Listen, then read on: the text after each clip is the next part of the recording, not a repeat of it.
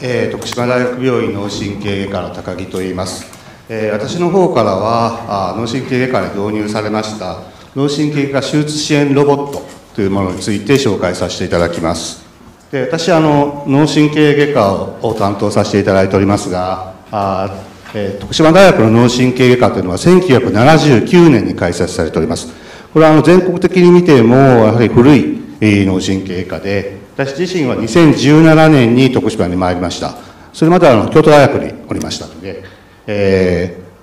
まあ、あの現在ですね、えー、手術は脳神経科としては500件を超えるぐらい、えー、これもやはり国立大学の中では有数の規模を誇っております。で私のあの役割としてはあやはりこう日本のトップレベルそして国際的に非常にこう最先端の医療を取り入れていくと。いうのが目標としております。で徳島大学病院の転換センターは2016年に開設されておりまして、現在センター長は森健二先生で、森健二先生はご出身はあ、えー、小児科でございます。で、えー今、転換支援拠点病院というのがですね、日本全国に28施設ありますが、あ徳島大学も病院も2018年にそこに名を連ねておりまして、えまた2021年には包括的転換専門医療施設、これも日本全部で21施設しかないんですけれども、まあ、そういうような転換診療の、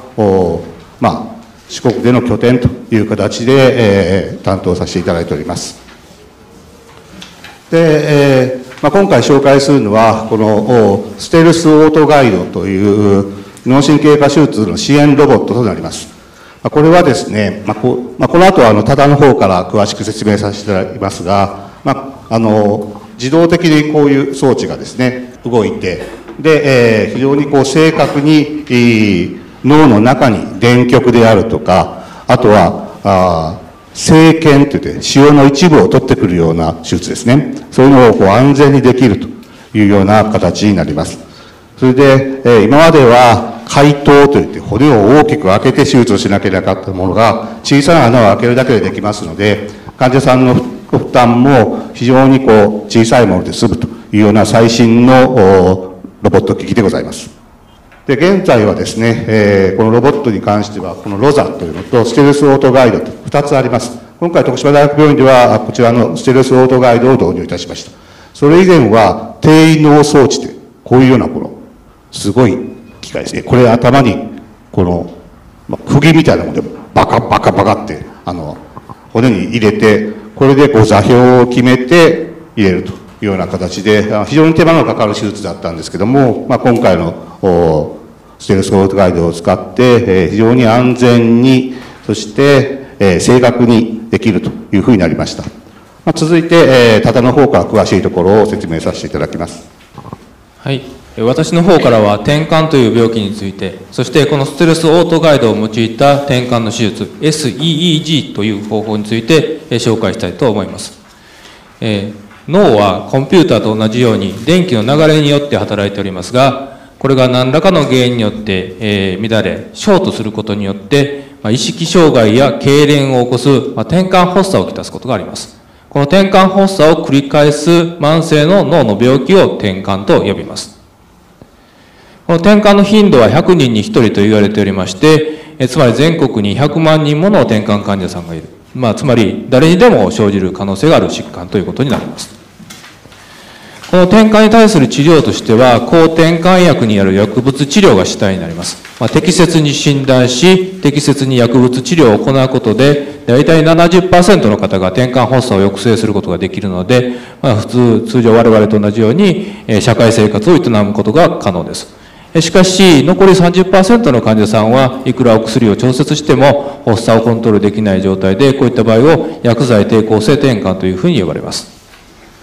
まあ、転換に対する治療は先ほど述べましたように抗転換薬による薬物治療が主体ですが、まあ、これらによって発作が抑制できない場合には食事療法や手術という方法があります。まあ、転換の手術は大きく分けて2つあります。転換の原因となっている焦点を取り除いたり離断することによって転換の発作を完全に止めるといった根治的治療と転換の発作を軽減を目指す緩和的治療です。ま、今回 SEG を導入することによってこの根治的治療の手術を受けれる患者さんが増えてくることが見込まれます。転換の根治的外科的治療のためには転換の焦点、まあ、転換の原因となっている転換焦点を正確に同定する必要がありますかつ、この焦点を切除しても障害が残らない、あるいは生活に支障をきたさない場合には、まあ、十分に相談しながら焦点の切除が可能です。まあ、転換の焦点を正確に同定するためには、術前に様々な画像検査や脳波などを組み合わせることによって、ある程度転換焦点が同定されると、まあ、そのまま転換の焦点を切除することができますが、まあ、それでも転換の焦点が十分特定できない場合には、このように頭の中に電極を留置して、十分に詳細に検討する必要があります。その、これまでの手法としては、このような解凍を行って脳の表面にこのような電極を留置するような硬膜下電極留置というものが主体でした。ただし、この手法であると解凍が必要ということと脳の深部の領域の測定が困難でした。しかし今回導入した定位的頭蓋内脳波 SEG という手法を用いると、ロボットを用いてこういう非常に細い電極を脳の深部に安全に留置することが可能になります。これが SEG という手法になります。この SEG は解凍を行わず、まあ、非常に小さな頭蓋骨に穴を開けて、そこから複数本の電極を脳の深部に正確に留置する方法を SEG と言います。でこれは、えー、欧米であればでは先行して行われておりましたが、2020年に日本でも承認されました。こちらは、この、えー、硬膜下電極と SEG の手術件数です。欧米ですね。で、欧米では、これまでの硬膜下電極よりにとって変わって、この SEG が非常に増えてきて、まあ、SEG の手術件数が増えてきています。まあ、こちらは手術件数、手術の成績です。まあ、硬膜下電極、従来の行った電極と、まあ、SEG という方法を行って、1年間の、まあ、転換発作が消失している患者さんの割合ですけども、これまでの従来の方法に比べても手術成績は劣らないといった成績でした。で最後に、えー、このオートガイドを用いた、えー、動画を教覧したいと思います。このように術前にプランニングを行って脳の血管の損傷を避けて脳の深部に正確に同定するような計画をします。これは手術当日にこのような CT を実際に撮影して実際当日に撮影した CT と術前に計画した画像をこのようにフュージョンします。で、実際こちらはこのロボットですけども、まあ、実前に評価したものに比べてこういった、え正確にこう調節してくれることになります。これを用いることで、まあ、自動的にロボットで、え正確に電極や、え針を留置することができて、まあ、誤差は0.2と非常に正確になります。でこのロボットを用いて、えターゲットを調節しますけども、このように非常に細いドリルを用いて頭蓋骨に骨を開けて、で、非常に細いですね。で、こういった線指針を用いて、え、脳の深部に、え、電極を留置していきます。このように、え、ターゲットになったところに非常に正確に留置することができるといった方法です。で、まとめますと、こういった手術支援ロボットをステルスオートガイドといいますけども、徳島大学病院で導入されました。